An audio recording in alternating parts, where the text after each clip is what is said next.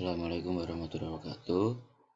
Kali ini sekilas saya ingin menjelaskan tentang thermal expansion, stress and force yang disebabkan oleh thermal ataukah temperatur.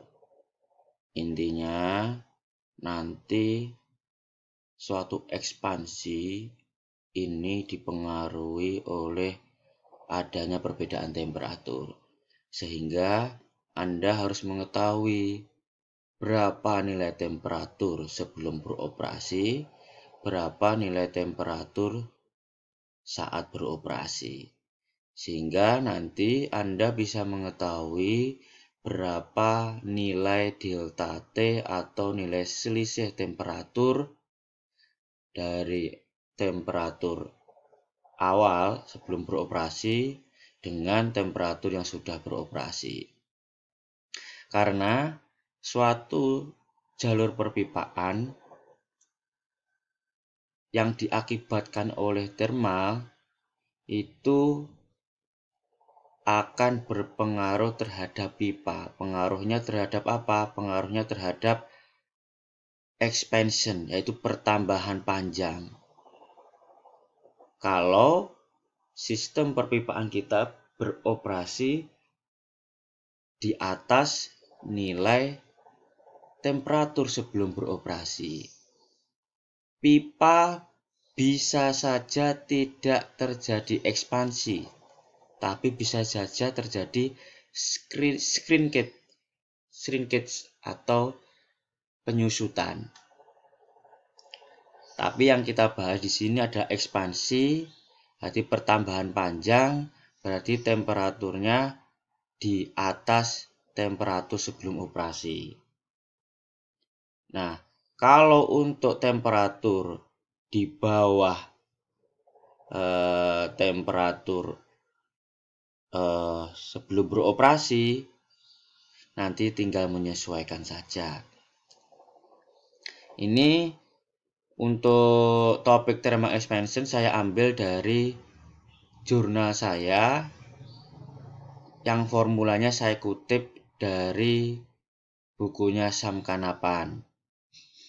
Bisa Anda lihat di sini persamaan yang digunakan adalah untuk menghitung ekspansi termal atau ekspansi pipa. Thermal expansion atau yang bisa dikatakan pipe expansion. Karena kita objeknya adalah pipa, terkenal yang namanya pipe expansion.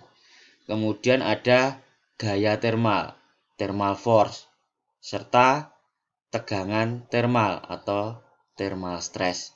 Nah, ini eh, formulanya kita dapatkan dari bukunya Sam Kanapan. Untuk expansion thermal, itu adalah delta L sama dengan C kali L dikali TF dikurangi TG e, tutup kurung dikali 12 inci per feet. C adalah koefisien ekspansi termal. Berarti yang diminta adalah inci per inci Fahrenheit. Kemudian L adalah panjang pipa Anda. Berapa di gambar Anda? di jalur pipa Anda dengan satuan feet. Kemudian dikalikan buka kurung TF kurangi TG. TF itu temperatur eh, desain atau operasi ya sudah beroperasi. Ya. Kemudian temperatur dikurangi temperatur awal. Jadi temperatur awalnya sebelum beroperasi itu berapa Fahrenheit. Jikalau kondisinya Anda masih mendesain, silahkan dimasukkan temperatur desain. Kalau Anda ingin mengecek kalau sistem itu keadaan sudah beroperasi, Anda cek menggunakan TF yaitu adalah temperatur operasi. Tinggal disesuaikan saja. Kemudian dikalikan 12 inci per feet untuk menjadikan delta L-nya adalah inci. Hingga dikalikan 12. Kemudian gaya termal yaitu F sama dengan E kali alfa dikali A.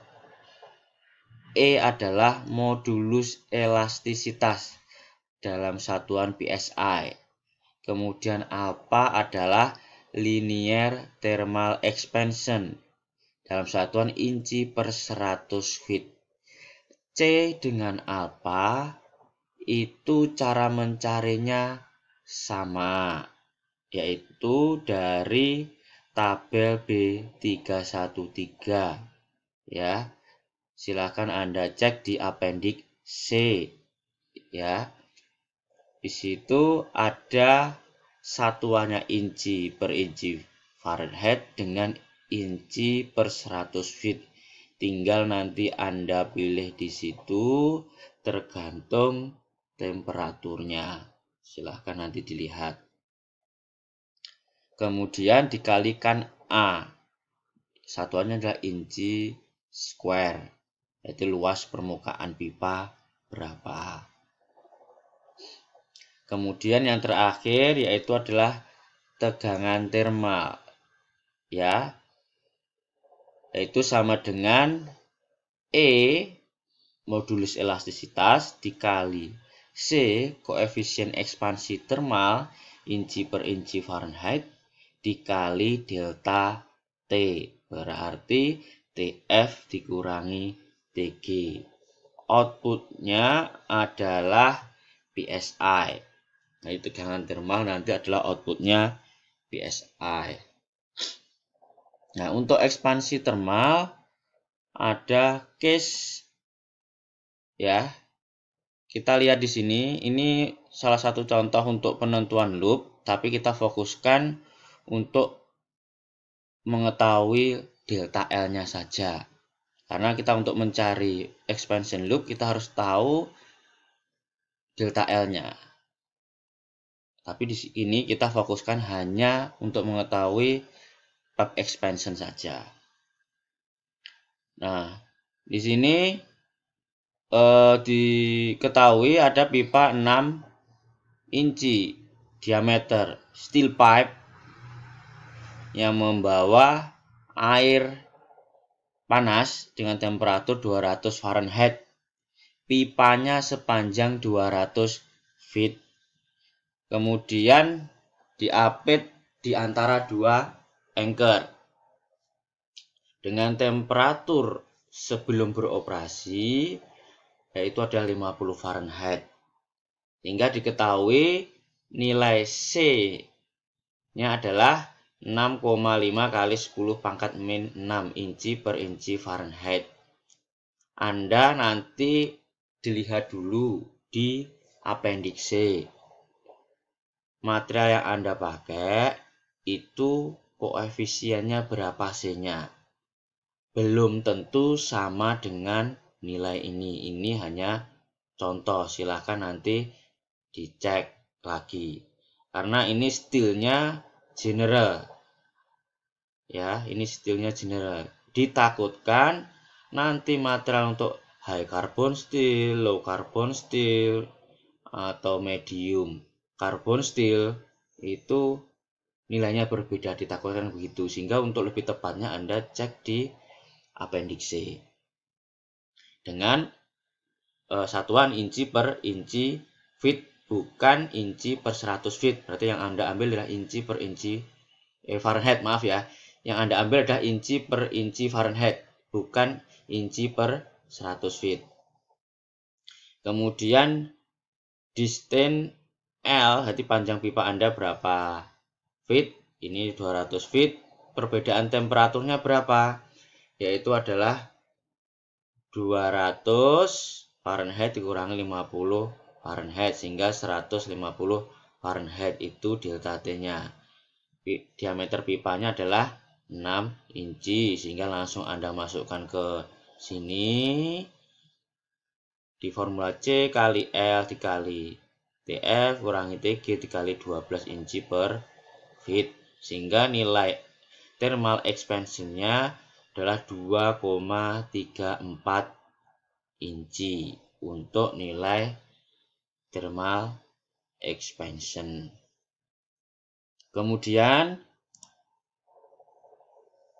kita cek untuk eh, penentuan thermal force. Nah, dicontohkan di bukunya Sam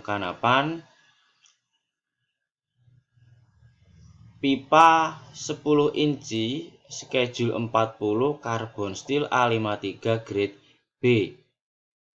Ya, pipa dialiri fluida dengan temperatur 200 Fahrenheit.